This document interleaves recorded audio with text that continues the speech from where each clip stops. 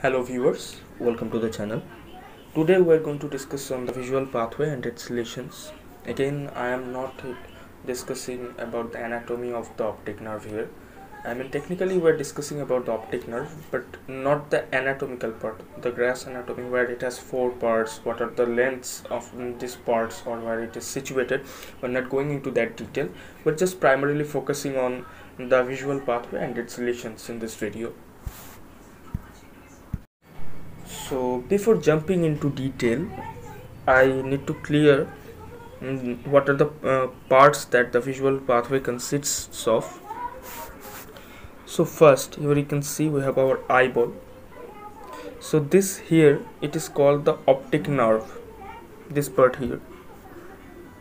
This part here this whole part is called the op nerve I'm not writing in super detail. This part here. Look there is a X like structure where both the nerves are crossing each other. Here the fibers are crossing each other specifically. So this part here is called the optic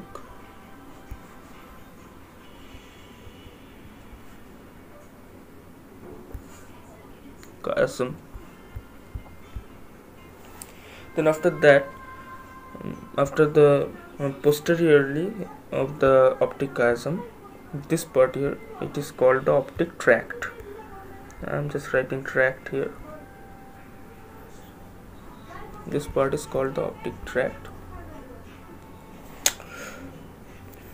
The fibers in the optic tract Mm, goes into the lateral geniculate body. This part here it is called the lateral geniculate body or the lateral geniculate nucleus. Again this lateral geniculate nucleus is a part of our thalamus. Some of the fibers goes into this lateral geniculate nucleus and some of them i mean it goes to the lateral geniculate nucleus first. After that it posteriorly elongates and goes to the occipital cortex. But before going into that these fibers also go to the midbrain and it supplies a specific structure called the superior colliculus and that we're not talking about in this video. And there is another thing where these fibers go into. These are called the pretectal nucleus. These parts are actually you know involved in our reflex or the pupillary reflex that we will discuss in a separate video and we will discuss about the pupillary reflexes. Now before going into the posterior part let me clear how the visual field you know the visual field works. Which uh, fiber controls which visual field? Let me clarify that first. So here you see this is the left eye so this is the left eye's visual field. Now the left eye's visual field is divided in two parts here. The left visual field of the left eye and the right visual field of the left eye. Anything that is present medially i mean yeah anything that is present medially controls the temporal visual field. So here red fibers are actually controlling the temporal visual field. So here you can see that the the fibers that are present medially controlling the temporal visual field and the fiber that is present laterally controlling the medial visual field. I mean that is present temporally controlling the you know nasal visual field or the medial visual field here. The same thing is happening for the right eye as well. Here you can see that the uh, that the fibers present nasally are controlling the temporal and the fibers present uh, you know temporally are controlling the nasal visual field and these fibers are crossing each other. Now always remember anything that is controlling the left side of our visual field shall come to the mm, right side of our eye right side of our brain. So here the red fibers are controlling the temporal visual field or the left visual field of the left eye. So this fiber is coming to the uh, right side. So this is a contralateral fiber. Contralateral means anything that is going to the opposite side and this blue fiber is controlling the right side. And anything that is controlling the right side of our visual field will remain um, will remain or will go to the left side. So this blue fiber is controlling the right visual field of the left eye. So it is remaining in the same side. So this is a ipsilateral. Ipsilateral means anything that is remaining in the same side. So this red fiber is a contralateral and this blue is one that is a contralateral as well so these are crossing each other. This position is called the optic chiasm.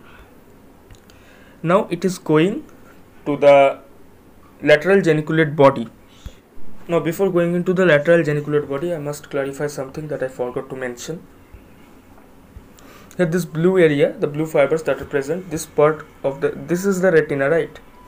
This here is the retina. So these blue fibers that are present this part is called the temporal hemiretina.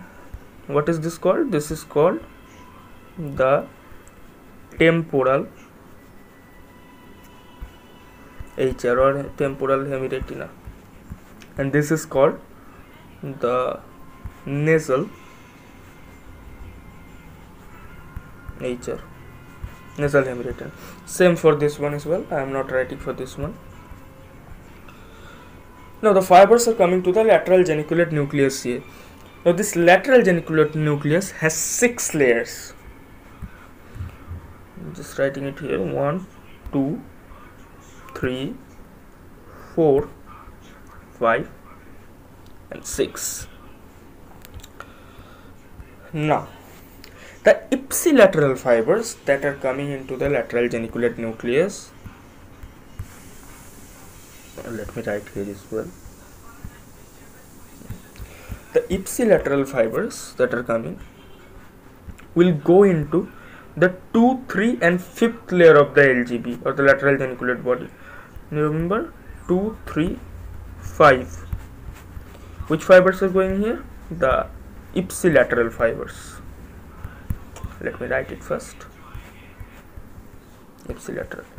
And the contralateral fibers are the one ones that are going into 1 4 and 6 here are the contralateral fibers going. Now some of the fibers are going into the midbrain as I said earlier to the superior colliculus and pretectal nucleus. But the maximum amount of fibers are going posteriorly to the occipital cortex. Now what are these things called? Remember these two are separate ones, okay? The fiber that is going to the occipital cortex through the parietal loop, this fiber is going through the parietal loop um, I'm sorry not the parietal loop it's going to the parietal part of the brain going through the parietal part of the brain. These fibers are called the SRF superior retinal fibers also known as Baum's loop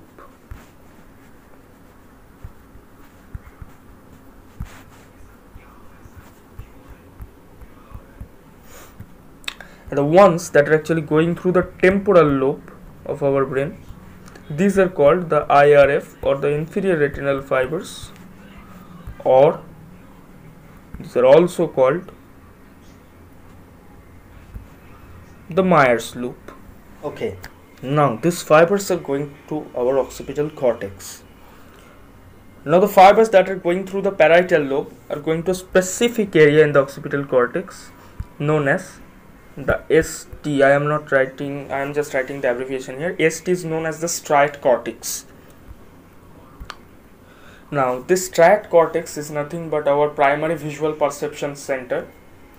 What we are seeing here is is perceived first here and it is the one that converts the stimuli into our vision. So this striate cortex is our primary visual center. Now just to be more specific think that this is the left occipital lobe this is the right. Now something this area this is dividing both the lobes. This space or this area is known as the calcarine fissure. I'm not writing fissure I'm just writing calcarine fissure so now we know the visual pathway about how the stimulus is coming and going. It's first going into the temporal or the nasal hemiretina then going it is going through the optic nerve then to the optic chiasm then optic tract then lateral geniculate body and through the optic radiations. I mean these loops these are called the optic radiation. I forgot to mention it.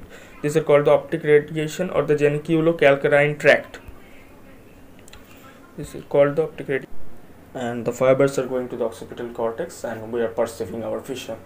And that's the whole uh, visual pathway. So now that we have cleared our knowledge in visual pathway i am now going into the lesions that can occur in a visual pathway.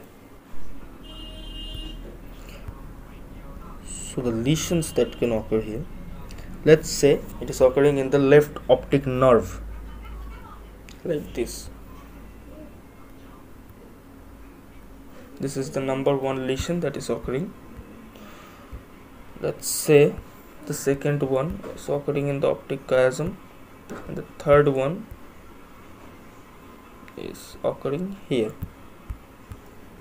The first one. In case of the first one both the fibers are getting damaged. So the whole left optic nerve is getting damaged. So here if we divide it two fields. This is the left eyes field this is the right eyes field. Will experience a full left eye blindness here. The patient is going to experience a full left eye blindness here. This thing will be known as left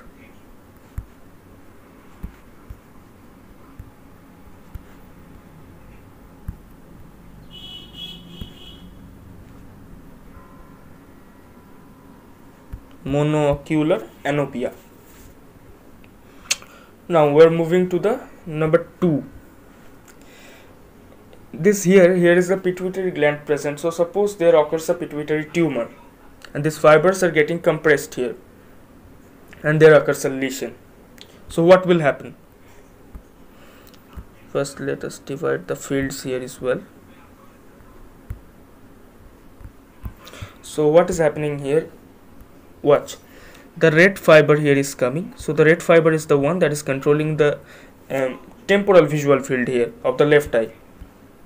And here the blue contralateral fiber is getting damaged. That is controlling the temporal field of vision of the right eye. So both eyes temporal fields are getting damaged here. So what will happen is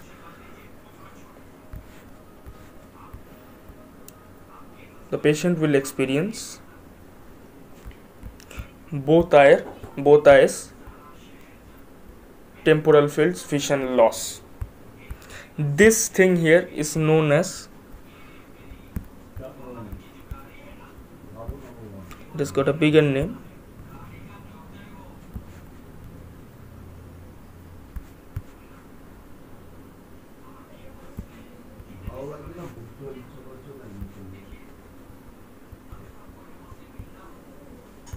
the bitemporal hemianopia. Now, if we go into the third lesion, remember from here the ca internal carotid artery passes. So, suppose the carotid artery gets dilated, it develops an aneurysm. So, these fibers here will get compressed now see this right fiber these both are the ipsilateral fibers and both are controlling. In case of the left eye it is controlling the left nasal visual field. In case of the right eye it is controlling the right nasal visual field. So here you will experience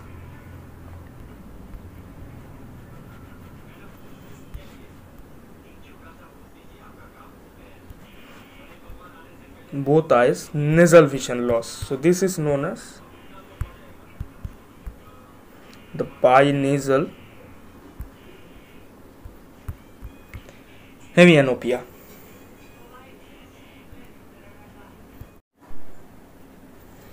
Moving on to the next one, suppose there is a lesion in the right optic tract. so where are these fibers coming from these fibers are coming from one is coming from the left eyes and one fiber is actually controlling the left eyes um, temporal visual field. And here one fiber is you know controlling the right eyes left visual field or the nasal visual field as well. So here the right eyes left uh, nasal visual field is getting damaged and the left eyes temporal visual field is getting damaged. So here the person will experience left eye's temporal field vision loss, right eye's nasal field vision loss. So what is this called? This is called the left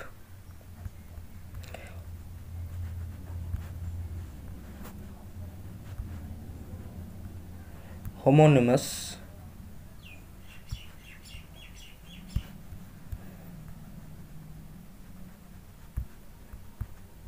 hemianopia. So this is called the left homonymous hemianopia. Same thing will happen if there is a lesion in the left optic tract. Then there will happen a right homonymous hemianopia. Moving on to a next lesion. That is the number fifth.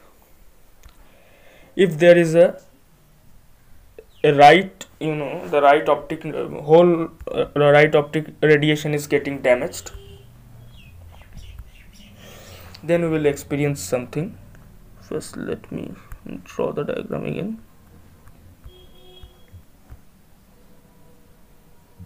Anything that is in right is you know is controlling the left visual field. So both eyes left visual field is going to get damaged. So there will occur the same thing. That occurred a left optic tract lesion. So there will occur a left homonymous hemianopia. Now if we going in if we go into the number 6 that is the inferior retinal fiber lesion. Now the inferior retinal fibers and superior retinal fibers both are different. The IRF or the Meyer's loop is the one that controls the superior visual field. So in case of a left uh, inferior retinal fiber. It is controlling the right eye's superior visual field and the left eye's right superior visual field as well. I mean the right eye's uh, superior right visual field and the left eye's right superior visual field as well. So we're dividing the um, visual fields in two parts right now the temporal and the nasal. Here we will divide it in in four quadrants. So in case of a sorry in case of a inferior retinal fiber lesion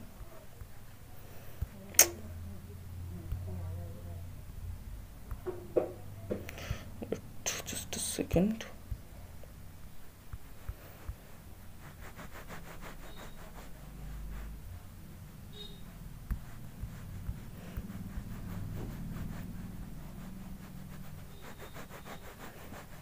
the patient will experience something like this. This is called the right superior quadrant hemianopia. Now what will happen in case of a uh, superior fiber damage?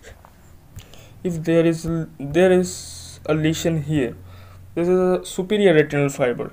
So here the inferior quadrant of the right eye is going to get damaged because this is the left superior retinal fibers.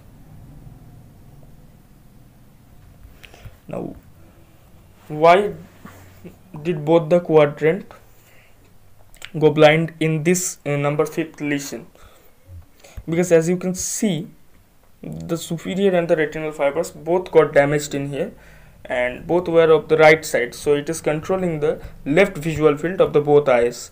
So that's why both the left visual field got damaged in this case and there occurred a left homonymous hemianopia. Now going into our last lesion, hmm, I'm sorry, going into our last lesion, the seventh one. the occipital cortex is supplied by some arteries there is the middle cerebral artery and the posterior cerebral artery as well suppose the patient develops a posterior cerebral artery lesion. What will happen is the posterior cerebral artery is occluded in this case gets occluded and the blood is not getting supplied to the occipital cortex. But the middle cerebral artery is the one that is still supplying the blood to the occipital cortex and the middle cerebral artery supplies the blood in an area from where our central vision or the macular vision gets controlled. So in case of a posterior cerebral artery occlusion now this is occurring in the uh, right side of our brain. So our left visual field is going to get damaged. Just a second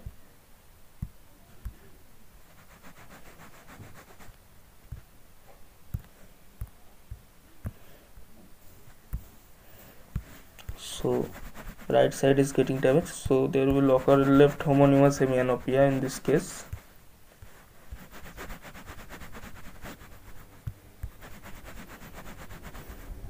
But the interesting thing here is that the middle cerebral artery is still supplying blood to the uh, area that is controlling the macula. So the macular vision is not getting damaged here. So there will occur a condition known as left homonymous hemianopia with sparing of macula. In case of uh, the left side um, lesion there will occur a right homonym right homonymous hemianopia with the sparing of macula. Uh, the both side posterior cerebral arteries getting damaged both sides suppose the both sides posterior cerebral artery is getting damaged but the middle cerebral artery is supply still supplying. So only the central vision will be spared and all the rest is going to get damaged just like it occurs in glaucoma. The peripheral vision gets damaged but the central vision gets spared.